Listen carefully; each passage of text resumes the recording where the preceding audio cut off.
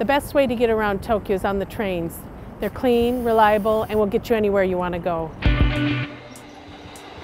You can go to the major tourist sites, but you can also go out to the mountains and you can even go out to the beaches and explore local neighborhoods as well. I love exploring Tokyo because there's a lot to see, both the old and the new. There's a lot of shops that have been around for hundreds of years.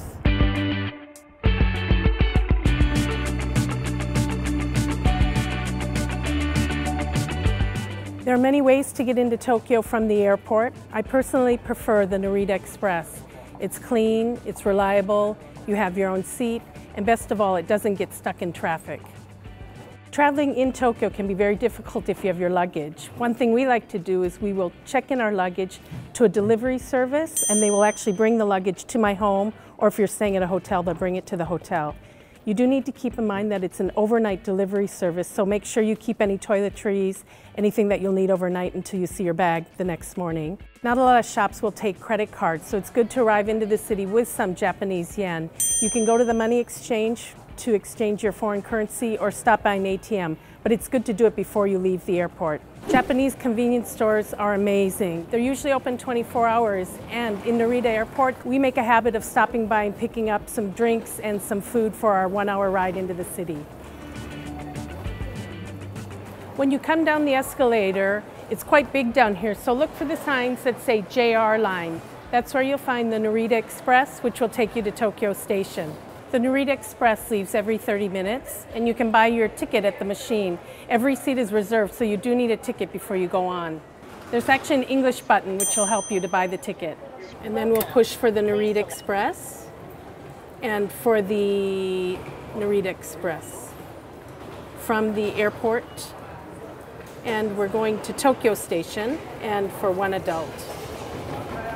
We'll take the 1015 in the regular car and I'll pick the window seat.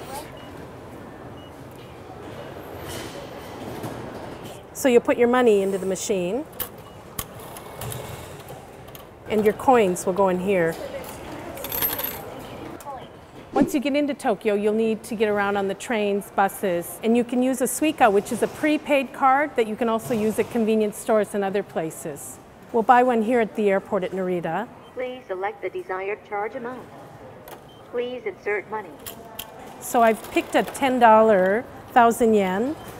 There's a $5 deposit on it, so I've got 500 yen to use here to get on the get around on the trains once we get to Tokyo.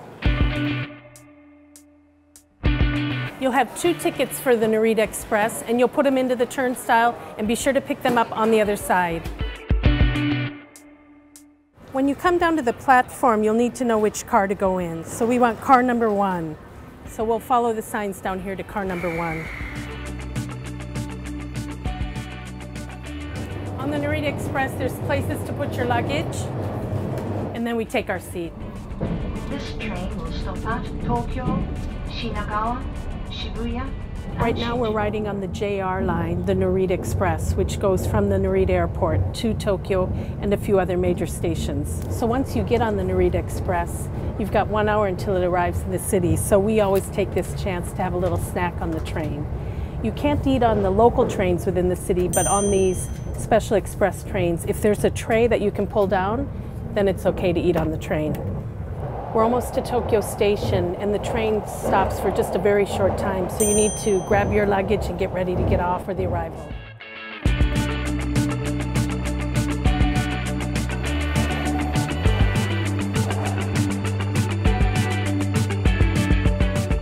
So we're here, we're at Tokyo Station, one hour after we left Narita. There are actually 3,000 departures per day from the station. Inside of Tokyo Station is an area called Gransta where there's a lot of prepared foods. It's great because you'll find food from all over Japan as well as different types of Japanese cuisine here. So it's nice to stop by here if you want to pick up some lunch or something to eat back in your hotel room. Once you've arrived to Tokyo Station, you'll most likely take a local train. So when exiting, we'll use our either our Narita Express tickets or our Suica to exit.